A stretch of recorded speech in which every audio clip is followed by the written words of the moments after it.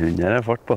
Sånne Kip Ketel-unger på hunder. Elin Hvithusen har noen av de beste irsksetterne en rypejeger kan tenke seg. Stopper ikke før til kvelds. Hun dresserer dem etter alle kunstens regler, og har 20 års erfaring med oppdrett av jakthund. Det var geit. Nei, hva heter det? Sau. Nei, jeg spiste geit i går, skjønner du. så- Det var jo ikke villsau hun skulle jakte på. Det var fugl. Ser du det, Vebjørn? Ja. Den er stand. Der oppe står den. Den er litt vanskelig å se, ser du, men den eh,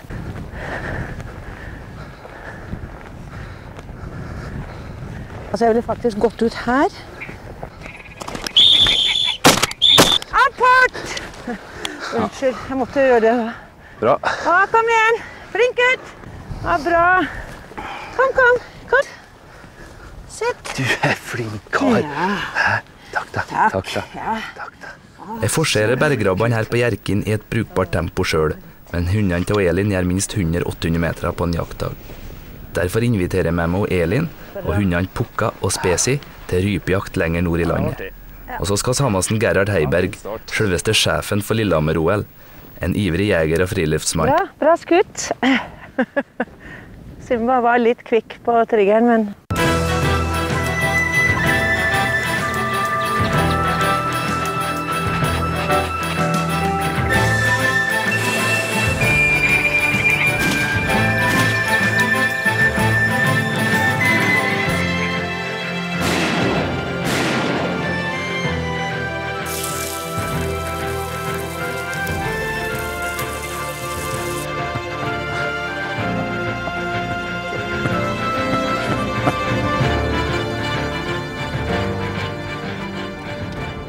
kjører nordover gjennom Namdalen til nordlandsgrensa og tettstedet Terråk, som ligger i Bindalen.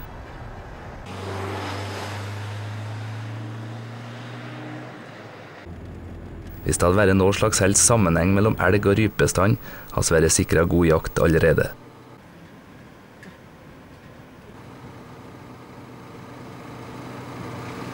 De var så spesielt den siste var stor.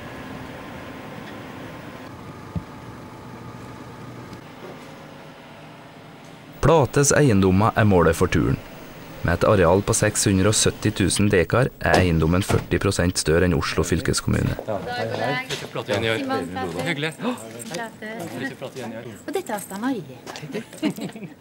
På tunet er det tre generasjoner som ønsker oss velkommen. Etter et hyggelig møte med familien drar oss rett inn i marka før det blir for mørkt.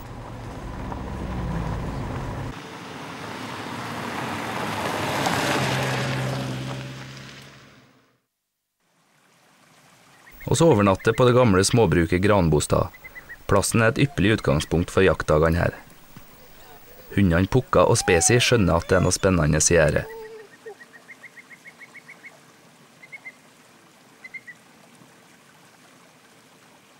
Og Bengt og Fridtjof girer opp oss tobente noen hakk. treffer på storfugl i området her, og så skrur dere opp på fosslia, mot fosslia her, og så jakter dere området der.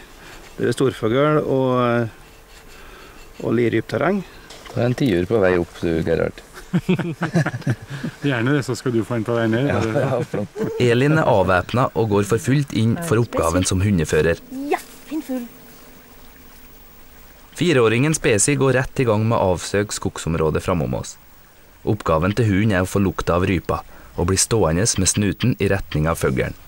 Når hunden kommer, ligger lyrypa helt stille og trykker seg ned mot bakken for ikke å bli oppdaga. Jeg så bare at hun la seg på vinden, så jeg tar en kikk. Kom. Kom bak. En god fuglehund må ha det rette instinktet, sånn at den blir stående når den får snusen av rypa, og så må den være dressert til å følge jegerens kommando når den skal gå fram for å lette opp fuglen. Nå er det jo litt spennende der borte, da. Kan jo gå og kikke litt. Så skal den sitte når jegeren skyter, og til slutt hente og avlevere rypa på ny kommando.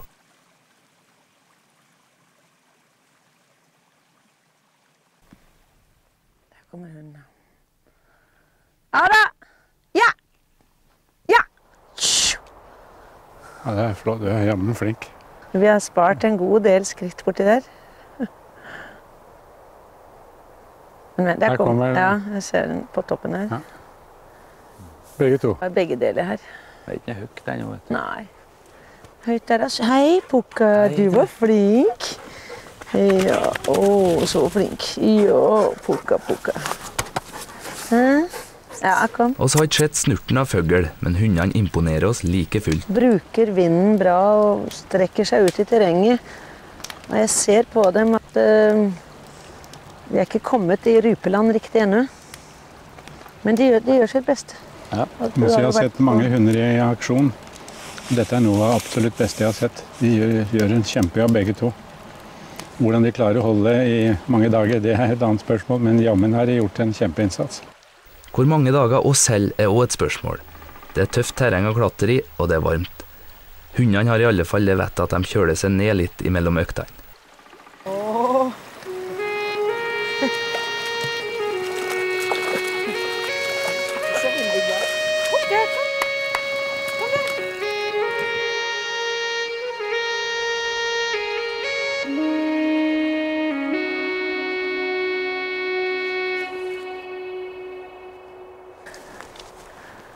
Blir spennende her. Ah, en gul. Pukka er ivrig. Kan du se på hundene at det er fugl i nærheten? Ja. Vi prøver altså. Vi prøver oss. Jeg tror de fløy rundt der. jeg kan prøve å gjøre det, og så gå tilbake bortover. Oss har gått i fem tunge timer. Han Gerhard har sett noe med fjær på som ligner mistenkelig på ei fjellryp. Den ligger ikke og trykker som lirypa, så skår fram for å støkke opp henne uten hund. Den datt. Det er bra, Gerhard! Hva skal oss med irsksettere? Heiberg apporterer villig vekk.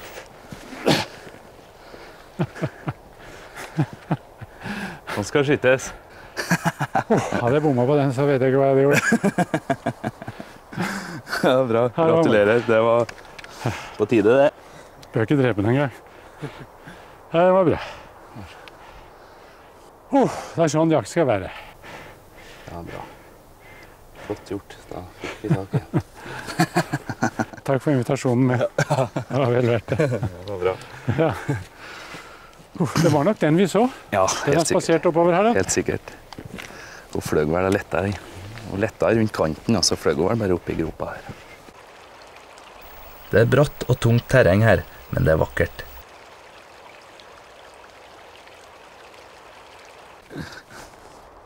Oss er mør i føttene når vi er tilbake på Granbostad, men det er ikke verre enn at vi skal prøve oss på en konkurranse med en viss relevans til rypejakta. I dette laget er det ingen som har noe avslappa forhold til å tape. Ja.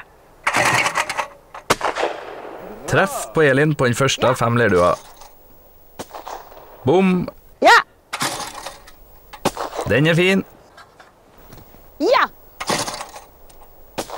Nei. Bom igjen. En igjen. Ja! Og treff på den siste, og tre av fem i fasit. Så er det OL-kongen sin tur.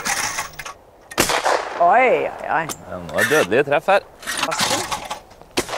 Oi. Ser du? Bom hele tiden. Gerhard er litt kjapp på et par duer, men hentes inn igjen. Også her er det to duer som lurer seg unna haglskura. Tre, tre av fem, det òg. Han ser farlig ut. Å, Flott. fy søren. Ja.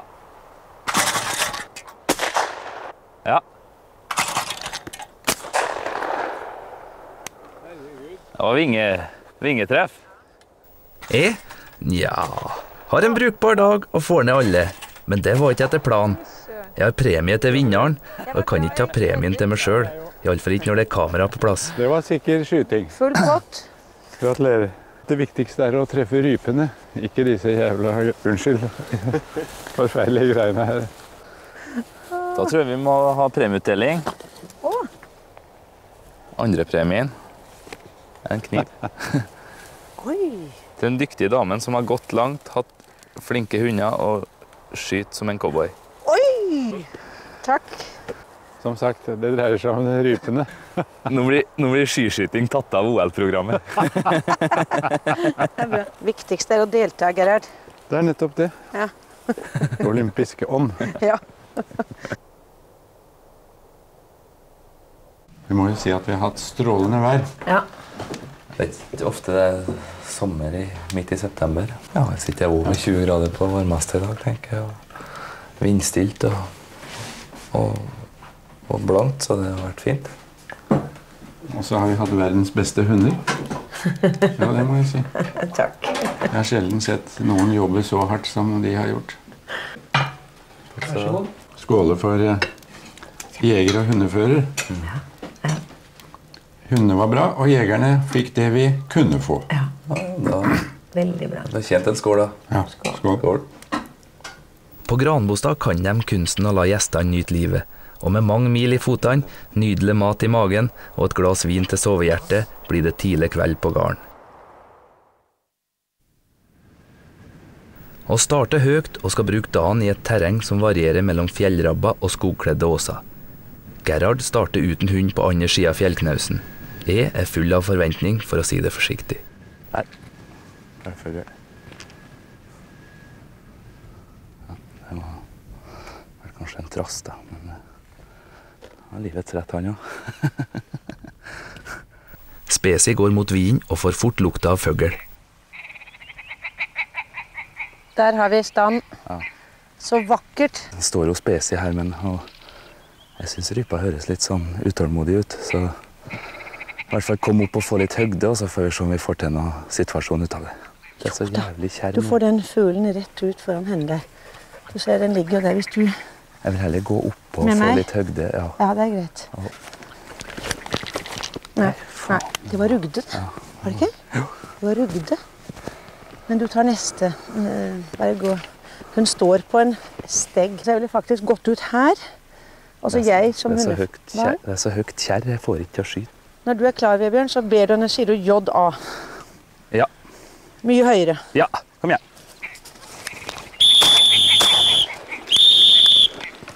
Sitt!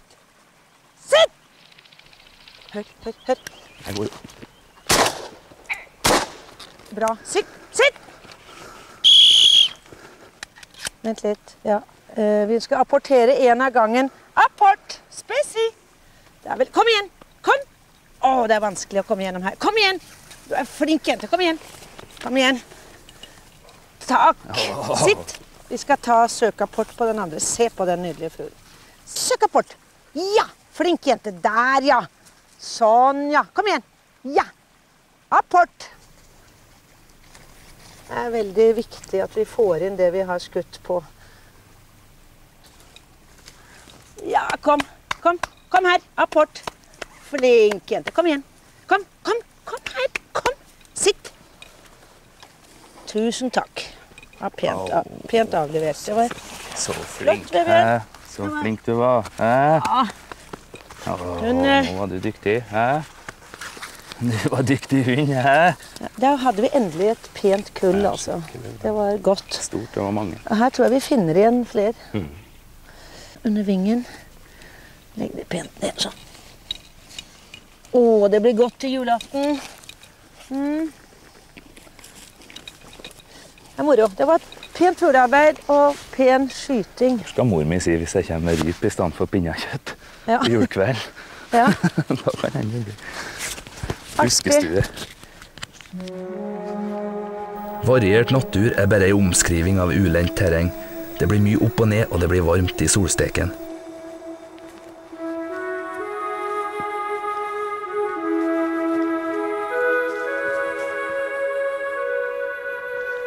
Nei, her kommer det. Pukka og Spesi har stor jaktlyst og søker av store områder uten å finne mer fugl. De revierer, som det heter på fagspråket, som betyr at de kryssøker terrenget sånn at de har vindretninga til sin fordel. Begge hundene er jaktchampioner og holder bra kontakt med oss underveis. Skål det med Pukka. pukka. Hun kommer innover her. Dette er medvind, så vi kan bare stå stille her. Ja. Hun skal eh, riviere tilbake, og vi har jo fin oversikt. Altså, fordelen er at hunden dekker så mye mer terreng enn oss. Mens vi da, Ulempen er at vi blir tykkere og tykkere.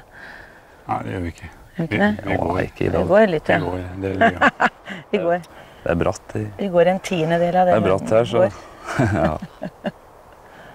Hør. Hei, er det fjellrype. Hørte du det? Nei, det hørte jeg ikke. Hadde begynt å gå med en gang. Syns jeg hørte det der borte.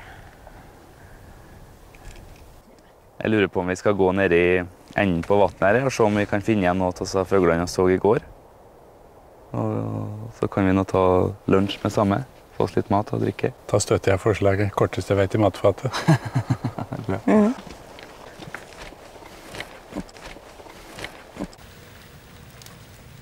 Fjellknausen er kanskje ikke det ideelle kjøkken, men sjøl om det er enkle gastronomiske forhold, er det min mening at rypa sjelden smaker bedre enn på denne måten.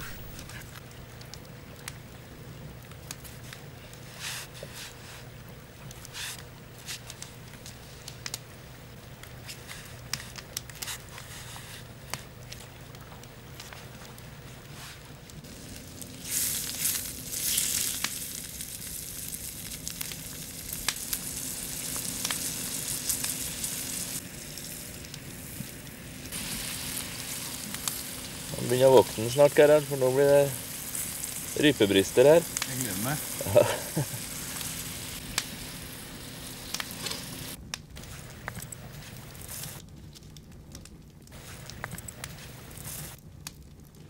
Søvo og Elin. eh, er Elin, det er mat. Åh, er noe smak på det vi har tatt livet av. ja. Veldig gjerne. Jeg går ut ifra det er min, selvfølgelig. Takk skal du ha. Mm, din ribbe. Mm, tusen takk. deilig. Mørt. Det er vel mørt fordi det er kylling, kanskje. Jeg har ikke fått Og fordi det er dagens fangst. Ja, jeg har ikke fått honge så lenge som en skulle ha gjort, men årsungene er vel ganske mer og fin i utgangspunktet. Deilig. Ja, kan... Åh, så vondt det begynner. Ja. Åh, det var godt. Dette er toppen av livsnydelse. livsnytelse. Litt slit. Mye natur, mye pent vær. Og så litt eh, bytte på toppen, så har man gjort det. Husker du hva som gjorde at du begynte med jakt? Ja, jeg, jeg bodde for mange, siden, mange år siden i Østerrike. Og da var jeg mye i fjellene. Så fikk jeg muligheten på å være med både på fiske ørret og gå på jakt etter gemse. Og da lærte jeg etter hvert hva dette gikk ut på, og hadde enormt mye glede av det. Og det har jeg da fortsatt med i alle år etter den tiden. Så du har ikke introduksjonen din i den norske fjellheimen, altså? Jeg var nok med, men jeg hadde ikke det samme forståelsen for hva det var og hva det gikk ut på. Så jeg måtte i grunnen på oppdragelseskurs i Mellom-Europa. Hva er det som gjør at vi får sånn, da? Og, strever i fjellet i dagevis om høsten? Og... Det har ikke kosta mye å gå til å kjøpe dryper i butikken? Nei, det er vel naturopplevelsen. Og for meg syns jeg det er topp å se hundene jobbe. Jeg dresserer og trener hunder det meste av året, og så kommer jeg på jakt med dem. Det å klare å få til et, eh, et fuglearbeid og, og klare å, å få til ei felling, det, det gir jo litt sånn god følelse. Og det er ikke så ulikt kanskje det å, å lykkes på idrettsbanen. Og enten kanskje vinne et løp eller, eller prestere god tid. Og så ei ryp som landa attmed en liten bekk nedi lia, og skal prøve oss uten hundene. Vebjørn, klar til innsats? Da går vi nedover. Skal vi prøve, da? Ja, skal vi ikke det?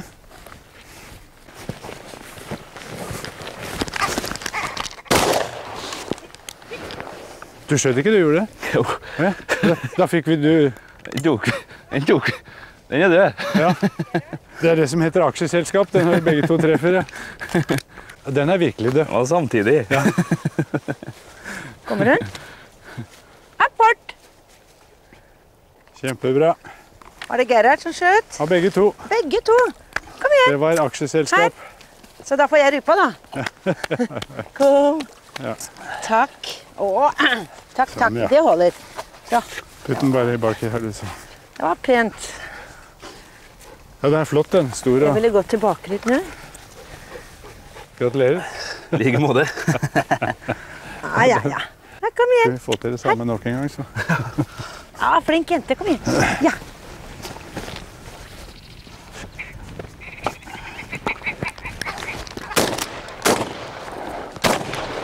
Ei. Der, der Der dør daua hun. Der daua han. Så du hun fikk det. Ja. Jeg tror vi alle tre traff. Ja. Altså alle tre skuddene traff. Sikker på den første mine, men toeren den var soleklar. Ja, jeg tror ikke hundene klarer ikke sin Da tenkte jeg det går. Men da fløy de sånn isteden. Det var bra. Her, ja. Kom igjen. Rop høyere. Kom, Spesi, kom her. Her. Her. Kom her. Flink jente. Kom igjen. Kom igjen. Apport. Kom igjen.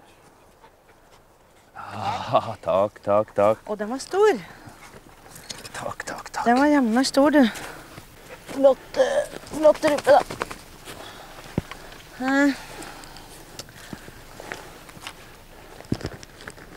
Ja, ja. Vi må jo si vi har fått det vi har skutt på. ja. Vi Dere har har fått noe hver gang. Det i hver K-situasjon. Så er vi litt heldige der. Ja. Hell og dyktighet. Jeg tenkte jeg skulle ikke si det. Nei. Falsk beskjedenhet var det. Ja. Oi. Der er det fisk. Små. For et par små borti kanten der.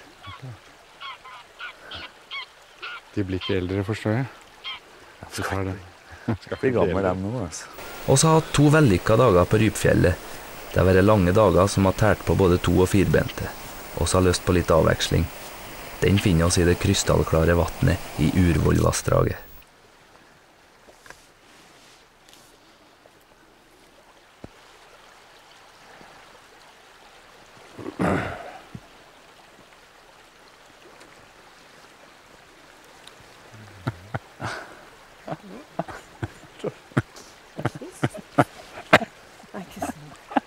Fangst. Elva er som et akvarium, og den er smekkfull av laks, sjøørret og ei anna sjørøye. Men vannstanden er lav, og fisken er sky. Det må da likevel være mulig å få én fisk til å bite.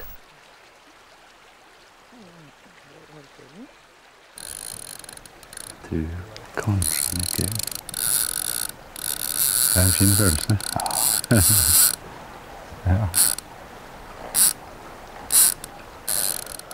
Og skal ned igjen.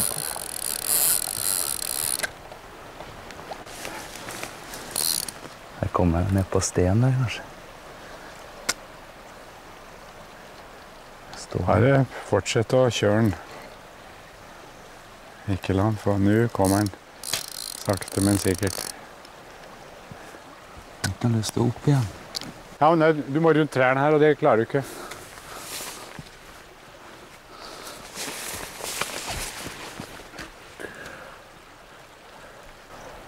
Sveiv inn, Vebjørn. Han vil ikke inn. Jeg ville si den er over kiloen. Meget. Det er ørret, så vidt jeg kan se. Nå har den nærmer seg. Kanskje vi skal gå ut og hjelpe til.